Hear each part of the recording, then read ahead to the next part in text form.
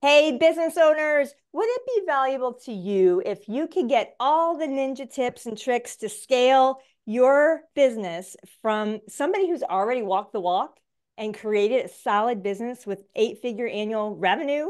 And whether you're a new entrepreneur, maybe you're a seasoned business owner preparing to grow your business, or maybe even preparing to exit your business, we've got you covered today in this episode. I am super pumped. Um, Bryan Clayton is here to talk to us about that. So buckle up for this amazing show. I'm awesome Angie Engstrom. And I'm Giri Adgard. And let's start by welcoming Bryan Clayton to, to Momentum Makers podcast. We're so happy to have you here today, Bryan. Welcome. Well, th- well thank you for having me on. That was a great introduction. It's great to be here. great. Okay, I just want to say to our listeners, this is going to be an awesome episode if you're looking, if you're a business owner, because Bryan is going to share, I hope, lots of great tips. So, so stay tuned and, and, and listen. Now, some of you may not know Bryan, so let me just share a little bit about him. Bryan first got into the lawn care industry at the age of 15, and by the time he graduated from college, he had a full fledged lawn care business with 10 employees and over 100 customers. 15 years later, it had grown to over 150 employees and $10 million in annual revenue. That's jaw dropping, right? Oh my gosh, that's amazing. yeah. okay, Bryan eventually sold the company and went on to be a co founder of GreenPal, also known as the Uber for Lawn, and he's also known for his expertise in bootstrapping businesses from zero revenue to profitability and exit. So we're so happy and so excited to have you on the show today, Bryan. Welcome and let's go. awesome. Well, thank you for having me on. That was a great introduction. Awesome. Thank you. Thank you. I'm excited for this. Um, so give us like 10 seconds, like what is your business? And then let's get into your story. I'm excited to share this with the world. Yeah, so I'm co-founder of a company called GreenPal. GreenPal is an app that works like like Uber uh, or DoorDash if you're in the United States, or Instacart, and for lawn care services. So if you have a yard and it grows and you need to get somebody to mow it, you just download the app, you pop your address in, and you get quotes from lawn care services nearby you competing for your business and then you can hire one of them and they come out and take care of it for you and then you can schedule and pay them right through the app. It just happens like clockwork in the background. You don't have to worry about it anymore. And greenpal is a 10 year overnight success. My two co-founders and i have been at this for a little over a decade around 300000 people using the app uh, every week to get lawn mowing done and, and we want to get it to a million people. So uh, that's that's uh, that's what GreenPal is, and and and we we want to uh, be the easiest way that you can get this done at a touch of a button. That's fantastic. I love that. The Uber for lawn care. Yes. Mm, yes. Sounds so great. Are there any parts of the US you can't reach right now? Are you still reaching through the US or? So we uh it's a great question. We we started off in Nashville, Tennessee, and we spent three years in Nashville making the app work well in terms of when you hire somebody, they show up, they do a good job, um, and making it to where contractors can earn a good living on the platform and uh, and and and then we started expanding into other cities, and it took a it took a long time to kind of develop that playbook. But now it is nationwide in the United States, or in any town where you, there's over fifteen thousand people, you can use the app to to get lawn mowing done. So around four hundred cities in the United States now. That's amazing. Mm. I love mm. this. So tell us what inspired you to get started with that because it you you had a successful business business going. It sounded like and so tell us about how that, all this transpired. Yeah, so my first business was a lawn mowing business. Started cutting grass in high school, uh, like a lot of kids do, and and and then when I went to college, I had to figure out, okay, well, how am I going to pay for college? I guess I I guess I'll just keep mowing yards, and I didn't really didn't really want to, didn't really like the lawn mowing business, but I, I saw it as a way to kind of not take on a bunch of student loans, and so and so uh, I I took night classes at night and mowed yards all day, and would go to go to night classes with grass clippings all over me and smelling like gasoline, uh, and my my classmates probably hated me, but but uh, did that for like five years and and got a business degree, and then after I graduated college, I, I had to make a decision: was I going to like stick with this lawn care company? I didn't really want to be a lawn guy, but I thought, you know, this could be my lane. This could be business ownership could be the thing that I could kind of pour my my passion into. And so I I made a little business plan and I thought if I can just get it to where I had four or five crews going out every day and I could manage those crews, that would be something fun to run. And and and I thought I could do it in 5 years and I ended up being I ended up doing it in 2. And and after that I made a decision, okay, I'm just going to grow this company to be one of the the the the industry leaders in my market. And that was Middle Tennessee, around Nashville, Tennessee.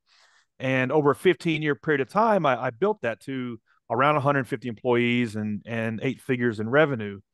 And over the course of building that business, I saw how inefficient the lawn mowing business operates and and how most lawn care companies that that run their small business are just organized chaos every day. They're they're just a mess. And yeah, there's software that you can use to help alleviate some of that, but there was no solution where you had like an operating system where you could keep everything organized in one place and and and help help with things like bookkeeping and marketing and and uh and and customer relations and all of these things like one toolkit. So I thought, well, somebody, you know, somebody needs to build that. And and after I sold the company, I, I thought, well, you know, I, I don't really know anything about about the tech space, but but uh, maybe I could build that. Maybe I could build like this operating system where lawn care companies could run their whole business and then easily get connected with with people who need their services. Uh, because the same problem exists on the on the on the consumer side as well. It's it's hard to find them, it's hard to schedule them, it's hard to pay them, and so I saw that there was a problem on both sides of the the buyer side and the seller side, and and at the time Uber was just getting going, so they kind of they kind of showed the world that that uh, you could push a button on your phone and something happened in the real world. Up until then, it was very much just just uh, you, know bits on your phone. It was it was uh, it was all digital. You know, sure you could share a picture, uh, you could post what you ate for breakfast, but nothing really happened in the real world from pushing a button on your phone. Well, well, Uber showed us that that that could be the reality, and and so I took inspiration from that, and I thought, well, somebody's going to build a build a platform to make this work. Why why can't that be me? And uh, recruited two co-founders, and we started working on on the idea for for what the Uber for lawn care could could look like. I love that. Why can't it be me? I love that. True yeah. entrepreneur. There you go. Why not? Give it a go. That's awesome. I love that. I love that. So you totally. your degree in college was business, business degree. That's right. Yeah. So went to school for for business management and and uh it was kind of a weird thing when I was in business school. I was learning, you know, I was taking business classes, but I was also running a business at the same time. And there was this weird disconnect of what I was learning in business school versus what I was doing. And it was like, man, none of this is this like this isn't actually how you run a small business. This isn't actually uh this isn't actually how how small business actually works.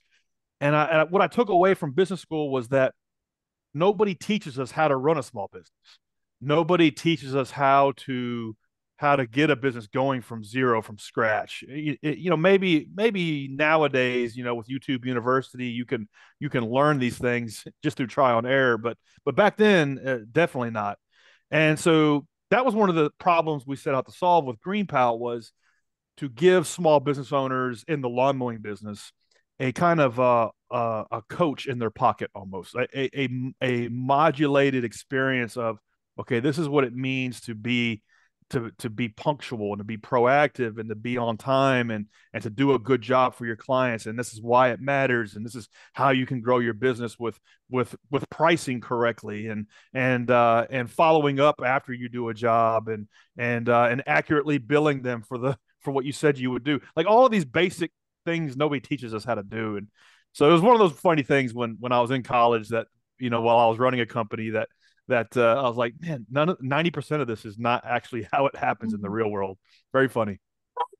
Yeah, yeah, I, I sort of recognize that.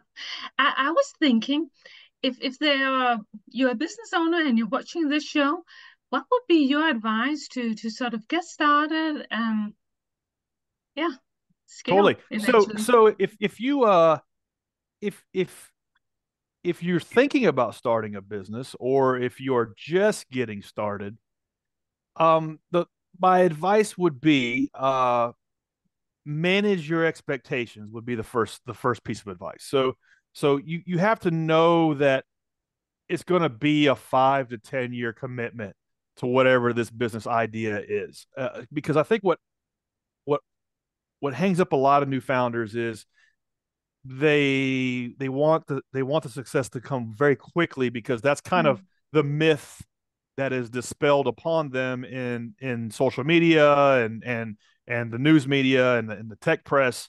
And it does it's, there, there is no overnight successes. So so so the first thing is just like manage your own expectations to know that okay whatever this business idea is i'm going to dedicate five ten years of my life to it and and you know six seven days a week to, to get it going um and it, and if you're not really uh gung ho about that, then maybe you know this is not the right path for you to dedicate your life to. Um, and because the reality is, is like success is is is expectations minus results. And so, what did you expect to happen?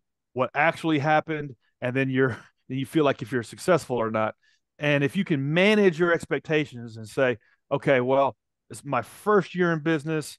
I'm just going to try to get my first 10 customers or or my first month, I'm going to try to get my first customer and and uh, and make it real practical, real actionable.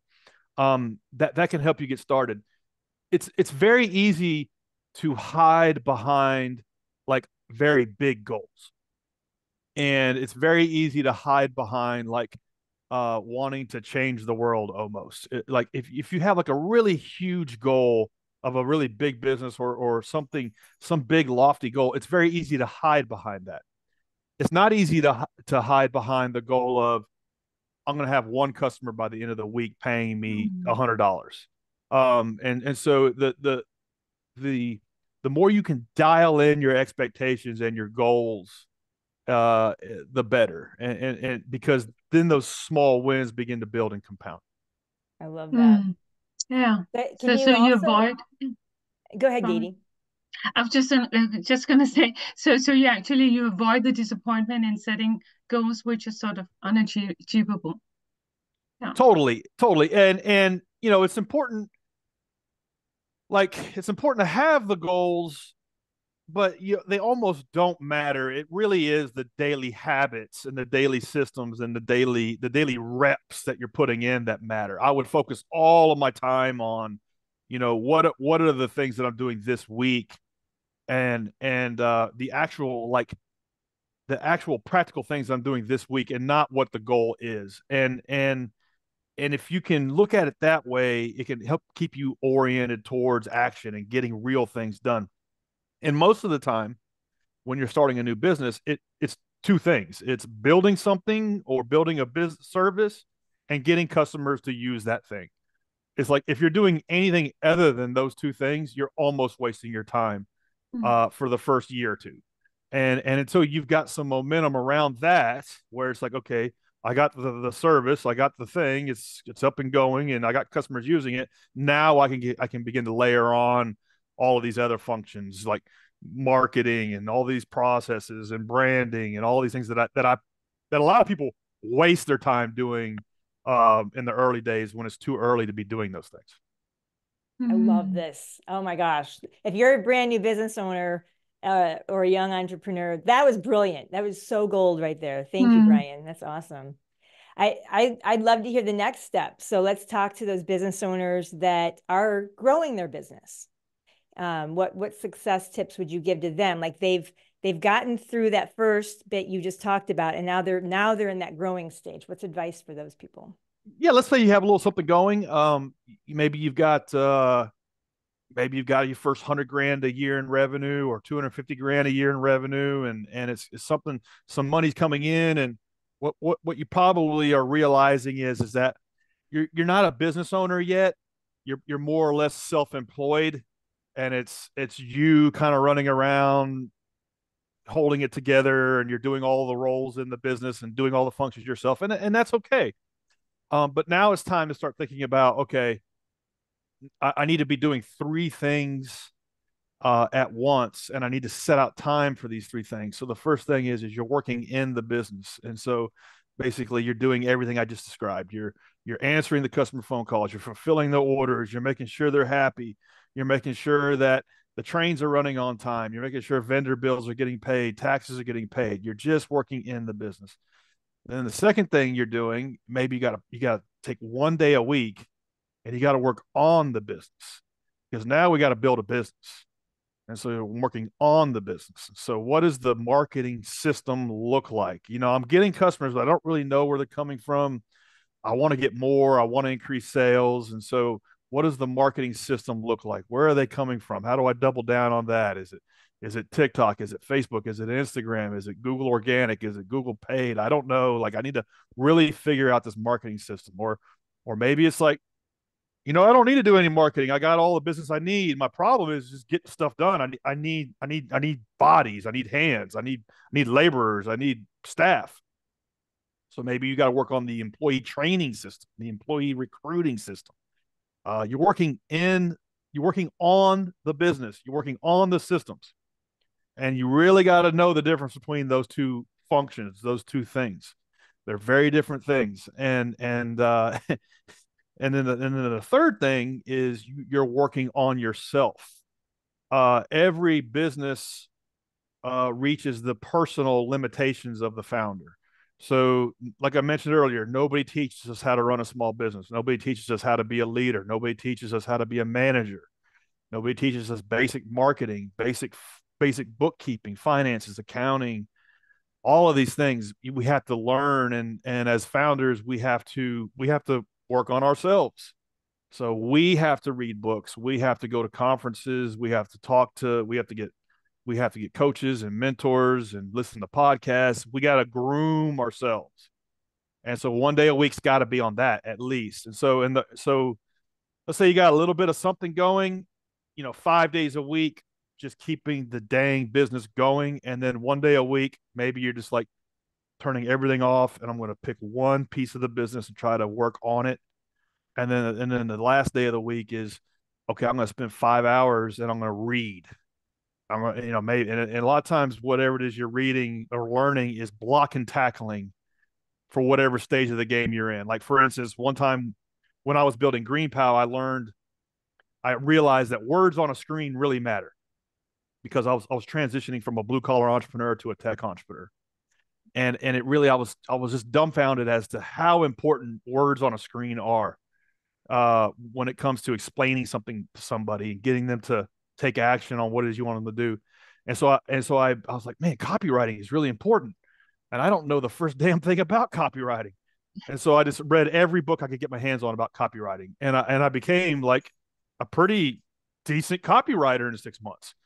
Um, so that's an example of working on yourself. So you, so so so you got to do all three of those things at once. And and if you don't, then you'll kind of get stuck in self-employed land and, and never break out of that. Mm. I love that. Oh my gosh, this is gold. yeah. Golden. I now I, I'm gonna direct you to the business owners that are ready to exit. What would you recommend to those business owners? They've done all this and they're they're they're either smart enough now while they're building their business to prepare for exit or they're getting ready to exit what, what would you speak to on exiting so yeah everybody I, not everybody but uh, most small business owners would like to sell their business one day. Um, that's one of the cool things about starting a business is ultimately it's an asset that maybe you could sell at some point. You can't sell your job. You can't sell uh, your career. Uh, you can sell an asset that you're kind of building and and uh, you need to plan for that. You need to be proactive about that. You need to, you need you need to be working an exit strategy that that that takes about five years give or take to kind of groom um, based on my experience there's a great book on this called built to sell and if you could read that book and implement everything the author talks about you're you're you're basically building something that somebody can take and plug into their bigger thing. And most business owners think or they, they dream about selling their business from the standpoint of, oh man, this thing is like a headache to run and I'm not making as much money as I want. And a lot of the people that work for me hate me and I hate them. And like I'm just miserable in this business and I just want to sell it. Somebody buy it. Nobody's going to buy your basket of problems. You, you, like, you're going to be in love with the business and almost not want to sell it if you're ever able to get it to a point where somebody would buy it. And so, um, being proactive about it, building it to sell, and and working a, uh, an exit plan in terms of how you build in the systems and the processes and the repeatability um, to make it run smooth where it could run without you is a big piece of it. Uh, to where somebody or a bigger company would buy it is, is a big piece of of trying to build a business that that could be acquired. I love that. Mm. I love it. Gee, do you, I have one more question for him, but you, do you have anything? Yeah, I, I was just gonna ask a single clarifying question. Um, so what you would recommend is actually when you start building your your company or when you're building it, you actually have in mind that you you need some exit plans at, at some point of time. Is that it? That's correct. Yeah. So mm-hmm. um one of my favorite books is Seven Habits of Highly Effective People by Dr. Stephen Covey. And one of the chapters mm-hmm. in that book is called Begin with the End in Mind. And and mm-hmm. selling a business is a much like that. From from like year one, you're beginning with the end in mind. So what does the end in mind look like? Okay, 10 years from now, I got to have this business at 5 million or 3 million a year in revenue. It's got to have 20 employees. It's got to have these kinds of managers. It's got to have these kinds of of systems, and and you're building towards that is what you want to do. Um, most 90 95% of business owners maybe more don't do that. And it's kind of like um, it's just it's just shooting from the hip and whatever you get is whatever you get. And usually that's not a successful outcome. So mm-hmm. yeah you do need to begin with the end in mind and and build towards that. Because building a lifestyle business and building a business that is uh, maybe one that you might hand down to your children uh, and one that you don't intend to sell is is really different from building a business that you do intend to sell. Um, because the business you do intend to sell is managed from the spreadsheet. And the mm-hmm. one that you plan on keeping a lot of times is managed from the heart. And and so you kind of have to know the difference in styles. And if you intend to sell that business, I advise I would advise you to to not manage it from the heart.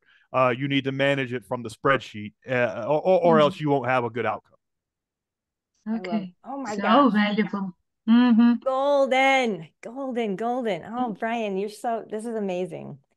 Can you speak to us a little bit more on this exit thing? Like, what can you paint your picture a little bit? How did, how did this look like for you? And maybe maybe your listeners can kind of envision themselves in your story.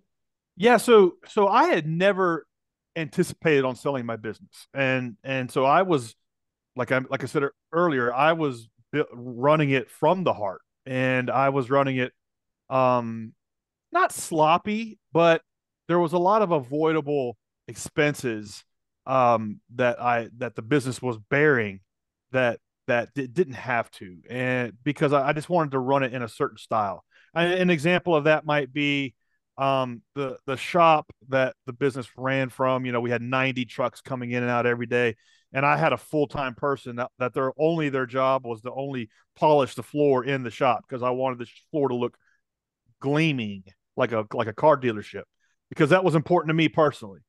Didn't really have to do that, but we spent, you know, seventy, eighty thousand dollars a year doing that. And if you're running a business from the spreadsheet, you would never do that.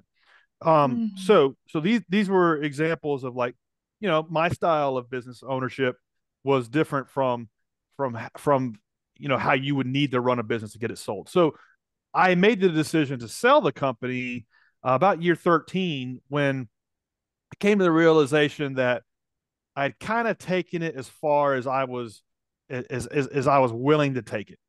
Uh, you you talk about uh, or you talk about gr- working on yourself. I had I had reached a point of personal growth where I was plateauing, and I didn't really have the ambition to go to the next level in that industry.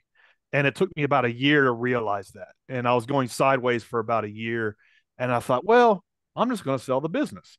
And then I was confronted with the reality of oh you've screwed up you haven't you haven't built this thing to sell and and so i had to reverse engineer basically take the business almost down to the to the studs and rebuild it from the inside out with everything that would need that that needs to happen to to get it sold, and that took almost two years. And uh, it was kind of like you know b- being on the goal line, and and and you're just you're you're you're doing all of these things and rushing through them. Ideally, I, I would have done taken five years and gone through that comfortably.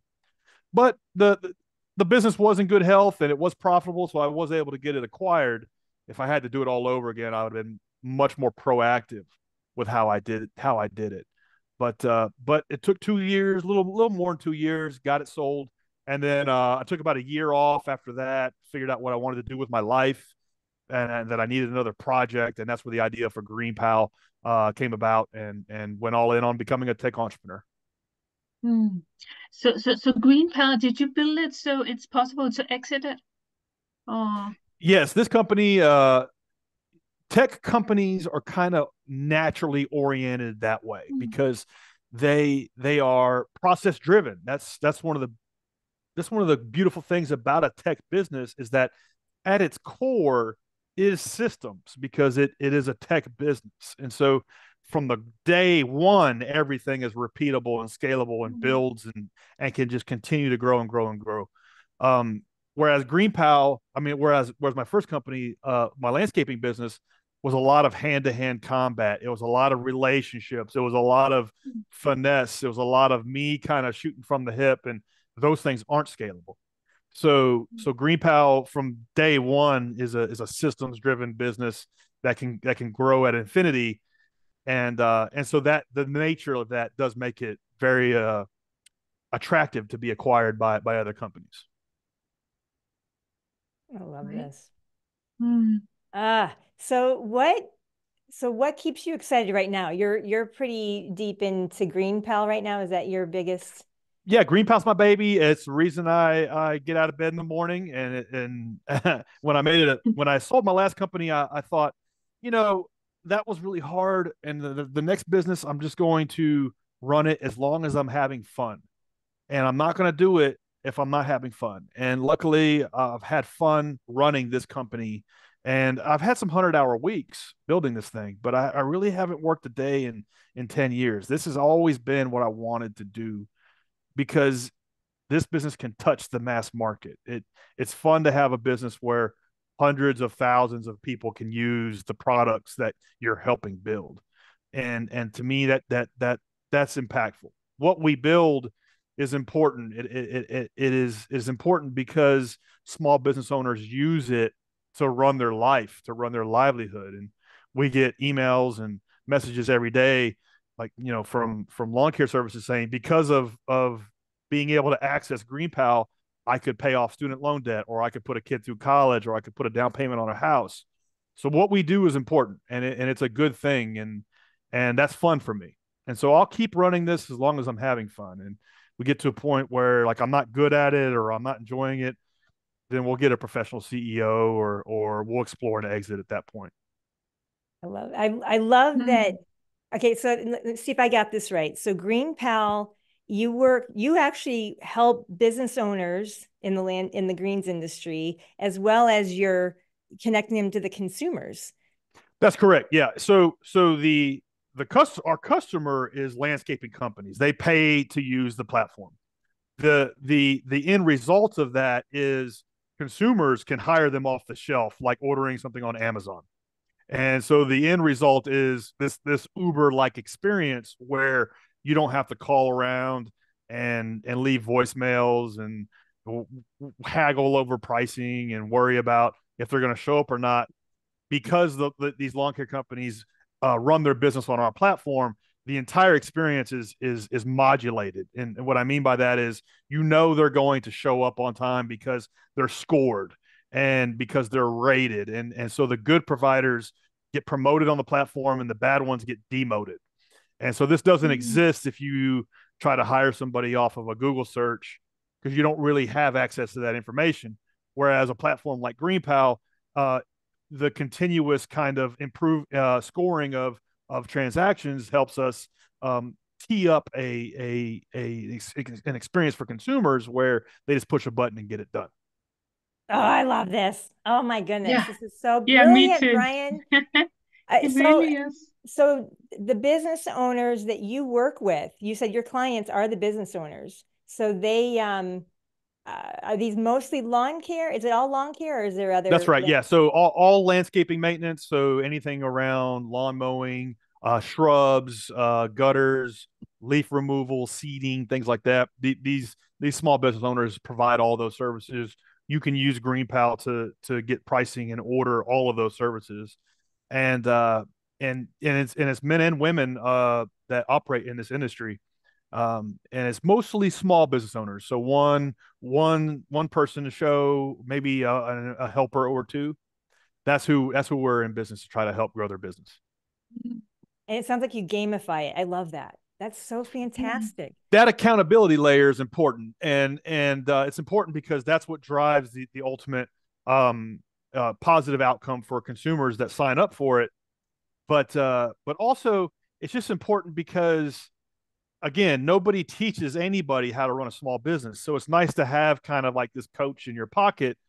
It's like, okay, you know, you've got 20 commitments today. You know, you need to get out and service them. And and in you know, ordinarily, you know, if you didn't have that, you know, sometimes a a, a solo entrepreneur might be like, ah, I just don't feel like working today. Well, if there's no accountability layer, then those 20 customers like, where's my lawn guy? and that's usually what happens. Well, with GreenPal, it's kind of like, well, if you don't, then your you know your your rating's going to go down, and then your chances for mm. next week to win more customers goes down with it. And so it's just kind of a nice kind of like accountability layer that doesn't exist otherwise that that we've spent a decade build, building to to help improve outcomes for consumers and and sellers. Wow. It, if mm-hmm. um if a consumer is listening um, I obviously you've done you're you're you're going through these companies and vetting them for the consumer, which is brilliant. And then for those of you that are the business owners, um, especially if you're in the lawn care industry, uh, my goodness, make sure you know that Bryan exists. I think that this is phenomenal that the service that you're providing for both ends. It's absolutely totally. brilliant totally we have we, we we have to solve problems for for both sides as well you know if if if if there aren't uh if if consumers aren't getting value from it then then vendors won't want to come on and use it and vice versa so you have to add value to both sides to make the whole thing kind of work that's and that's one of the challenging things about building something like this is you have to solve for both at the same time that is very mm-hmm. i can mm-hmm. only imagine how challenging that would be that you've done yeah. it it sounds like you're doing it well that's fantastic mm Didi, you have any questions? No. Um, no. Yeah, I think uh, is there as we wrap this up, Bryan, is there any last thoughts, comments that you want to share with everyone before we ask you the final question? Yeah, you know, we talked about earlier, you know, how hard this is and how you need to manage your expectations and and uh, how you need to do all three things at once, working in the business, on the business, on yourself. And I don't want to paint a negative picture of what business ownership is and looks like because for me it's been one of the best things I've done with my life. So so don't let those things dissuade you. Um, uh, I want to encourage anybody out there who's thinking about starting a business or is in it to keep going. It's worth it. It's it's worth it to build something, to build that asset that's bigger than you, that that can carry on without you. That's one of the best things I've done with my life. So keep going. It's worth it. Oh, thank yeah. you for thank I you, Bryan. That. Thank you yeah. for expanding the the minds and the hearts of all the entrepreneurs out there listening to this today. Thank you so much. This has been brilliant. Absolutely brilliant. Uh, so tell us what would listeners do next to connect with you? Yeah, anybody that wants to try out GreenPal, just go to greenpal.com. You can sign up. Uh, anybody wants to hit me up, LinkedIn's a great place to reach me. Just drop me a DM there. Cool. Excellent. Go ahead, Giddy. Yeah, I'm just going to say thank you again for coming on the show, Bryan. It's it's been so valuable, and I hope you listeners you've been taking notes because I think there's been a lot of gold in here. yeah, for if, sure. If, if, if you want to know more about Bryan, uh, you could go to LinkedIn and send him a, a DM, or you can go to uh, greenpal.com. Even if you're a lawn care business, or if you're a consumer wanting to to uh, yeah buy some services.